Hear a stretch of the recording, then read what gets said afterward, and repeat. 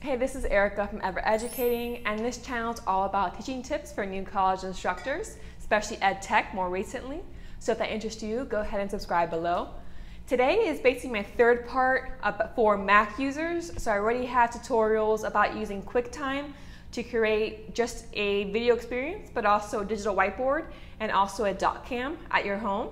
And then the video after that was about an iMovie tutorial for video editing.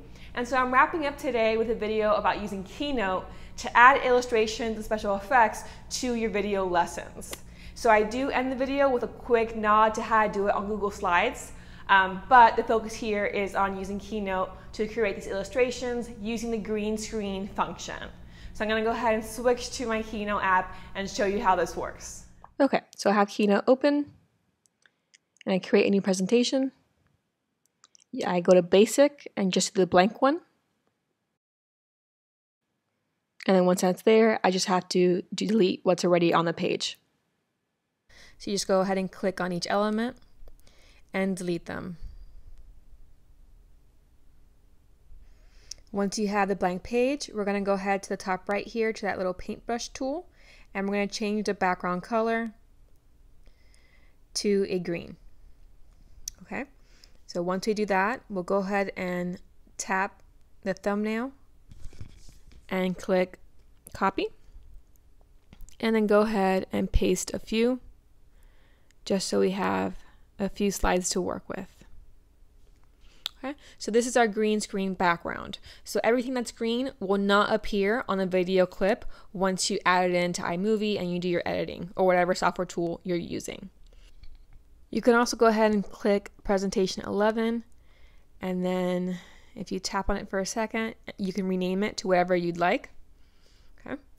Um, but then, so that's how you set up the page. Now, keep in mind, because I use a template, it's already the dimensions of a YouTube thumbnail. So on the top right here, the little ellipses, if you go to document setup, you can see, you can change obviously the background again, but down here, you see slide size.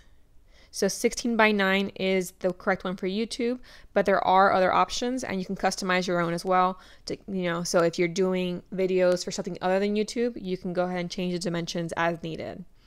And then I'll click done here. Okay, so I'm going to go ahead and show you a few examples that I, I already created, and then I'll show you how I created them.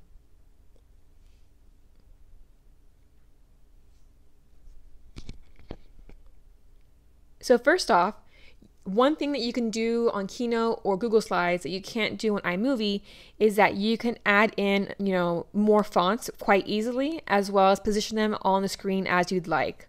So the title options on iMovie gives you a certain number of them, but they kind of tend to be pretty static, right? Like it has to go here or has to go there, or this is you know how it zooms in and zooms out, whatever the case may be. So with Keynote or with Google Slides, you can use different fonts that aren't available um, automatically on whatever software you're using to edit your videos.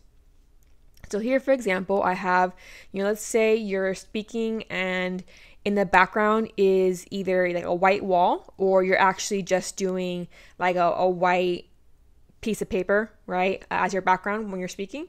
Well, then you can just have, you know, in this case, code switching, and there's no background behind it because I know that it will appear totally fine to the eye because you know there's going to be a blank wall behind it when I add it to the video okay? And so here just like to show you you can click and so on keynote you can change you know if you use your two fingers you can kind of pinch you can change you know the angle of the writing which is great okay very easily um, and so, you know, when you click into it, you can see here again, you go to this little paintbrush in order to edit things. And so if you edit the text, you can choose the font you want. Do you want to bold it, italicize it, etc. Right? Um, the color of it, the size, and basically there's quite a few options here. Okay, so you can have here just the word, right? So and then maybe you're speaking an example of code switching, or you can actually have again, you know, with iMovie, you can't add more than one title to the same scene. So you can't add, you know, multiple layers of text at one time.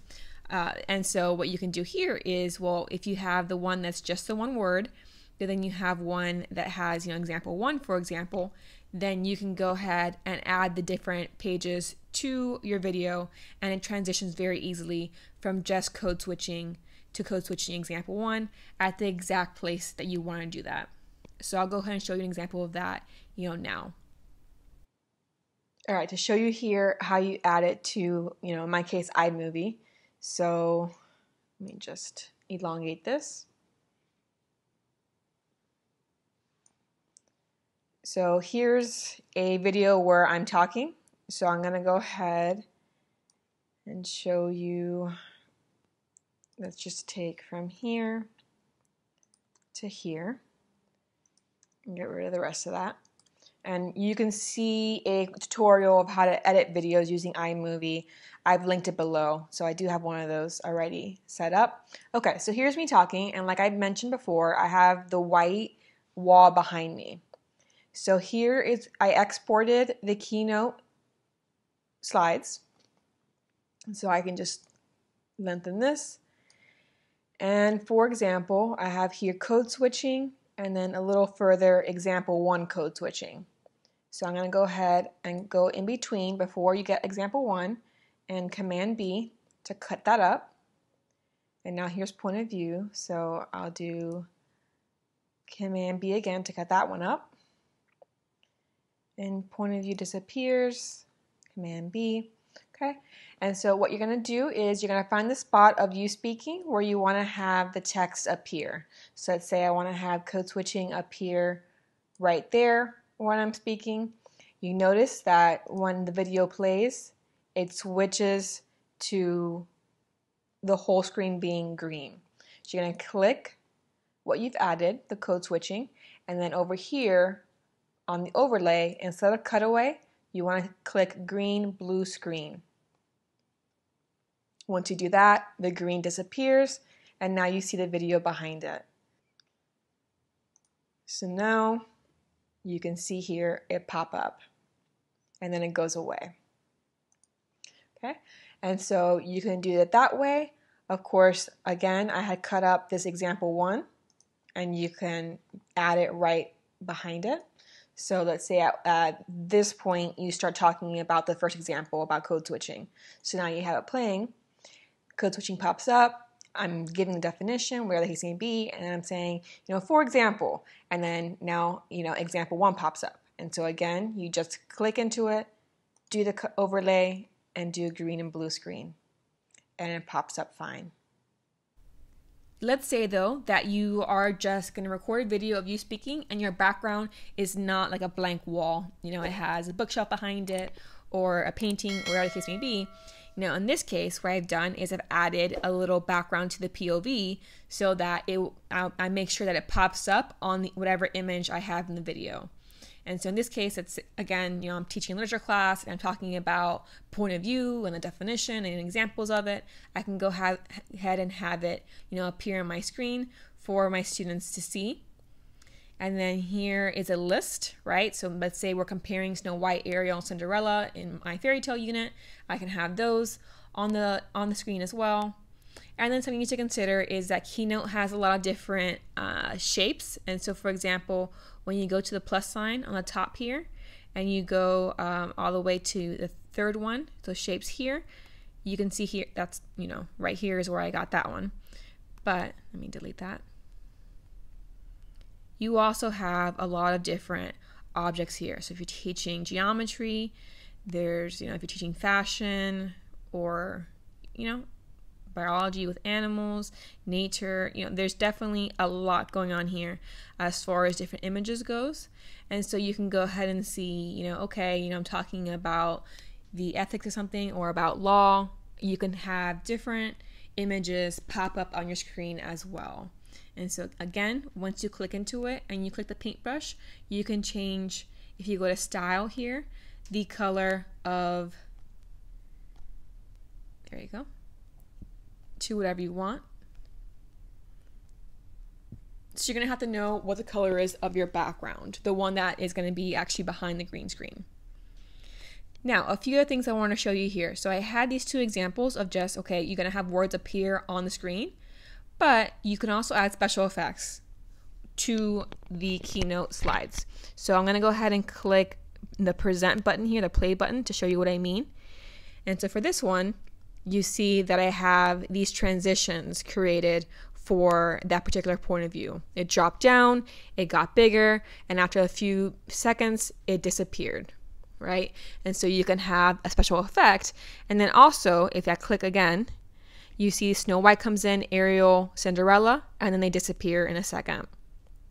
And so that, you know, if I'm just, I know I'm going to be talking, I know I'm going to say, all right, you know, for today's homework, we're going to compare Snow White, Ariel, and Cinderella and their relationships with their family.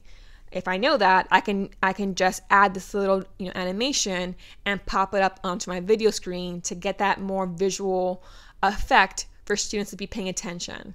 And I can also add you know an audio effect, a little bell transition or a little golf club hit or you know whatever you choose to use and I you know, show you how to do that on my video about iMovie editing and so you can again make your videos more engaging. So those are a few examples of how you can use Keynote and again those are I, I showed you already having done them so I just opened up a new blank screen and I'm going to go ahead and show you quickly how you can do your own versions of this. So of course with these I don't have to really show you because it's literally just adding text and then deciding on the font size and the placement. But I do want to show you for these two, the adding special effects, how that works. And so here we go. We're going to go plus sign and we're going to add, you know what, let's actually add an image here. So we'll go ahead and scroll down here. Maybe I'm cooking, I'm teaching a class about healthy eating. Okay, and so I want my chef's hat to appear on the screen. So I have that. I go ahead and click the paintbrush and I'm gonna go and gonna go ahead and change, you know, the color of a few things. Okay, so I know, for example, that my background wall is going to be white. Um, so, you know, any color will be fine, basically. So I'm gonna keep it blue. And then, you know, I don't really need any of these, but I can see here, you know, a little shadow I'll add just to give it a bit more texture. Okay, and then I can obviously resize it to however I'd like and change the angle if I want to as well. So I'm going to go ahead and do that here. So what you do is once you click into it, you'll get this little taskbar and you want to click animate. Once you do that, on the bottom you see add build in, add action, and add build out. So build in is basically the animation that occurs in order for it to appear on the screen. And an action is just what happens when it's on the screen. And then add build out is what happens to get it to, to disappear from the screen. So when you click add build in, you're going to see a lot of various options here. And what's great is that when you click one, it shows you what it does. So if I clicked fly in, that's how that appears. If I click keyboard, that's how that appears. If I say move in, which is what I use for the Cinderella ones, right, move in. So you can go through and click which one do you like to use as a way for it to actually appear on your screen. So let's say twist and scale. Okay, so I'll have that one. Now I exit out of here on the bottom left. And then now I'm going to click twist and scale, again. Because that way you can see how long the duration you want it to be. How long does it take for it to appear? Is it going clockwise or counterclockwise? The important part here though is the start. Rather than have it start on tap, I'm going to go ahead and click after transition. Because that means it starts automatically when you transition from the slide above it to this one in particular.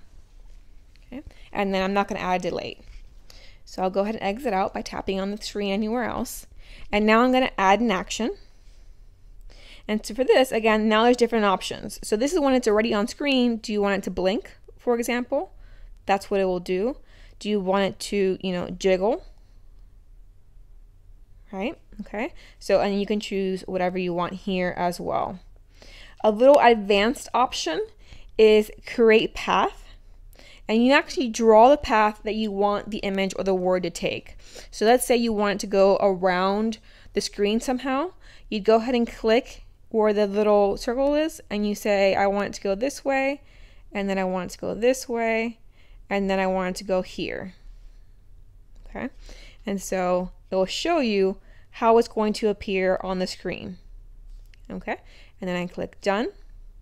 So now I have that for motion path. And again, I click motion path and I say rather than doing it on tap, we're going to start after build one because build one is the move in build, right? How it appears on the screen. And no delay again. So I'm going to go ahead again and tap outside, go back on the left here, the bottom left. And now we're going to add a build out. And so what's going to happen to get it to disappear? Is it going to shimmer out? Right, once it appears over there? Or do you want to do something different? Do you want it to fade and move? Okay, so let's say I'm going to do fade and move. All right, on the bottom left here, exit out, click fade and move, and once again, go down and have it start after build two, and then click done. And so now when you go ahead, let's say to the one above and click present, the little play button, now when you tap it, the animation is going to start automatically. So it appears, it goes around the screen, and then it disappears. Okay, and so now you've created exactly what you wanted for your animated element. So tap again and exit out. And so obviously you can play around with this. So if you click the chef's hat again and click animate, for each of these, let's say motion path, you can click on it and say, you know what, I want you to go slower. I want you to go faster, right? So you can choose. So that's how you animate images or words. You can choose, you know, what how to build it in, what action to take in the middle, and how to build it out all you need to do is to create a new presentation and then just get rid of the boxes that are already there. And then you want to go to background and change the color to green. And then just click done. And then for that one, you're going to just go ahead and uh, copy and paste or duplicate slide. Either way is fine. And then once you have that color, then you're just going to add text or images and animate it as you would on a regular Google slide. So for example, you can go ahead and insert a text box.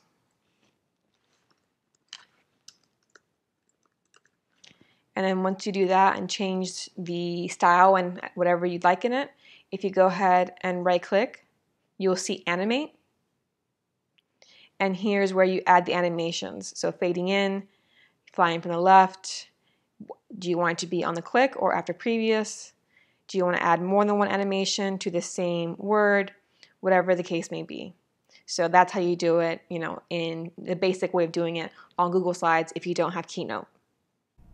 If you like this video, please do give it a thumbs up below and let me know. Uh, if you have any questions or comments about using Keynote in this way, you can go ahead and let me know below and I'll answer you as soon as possible. I'll see you next week with new videos.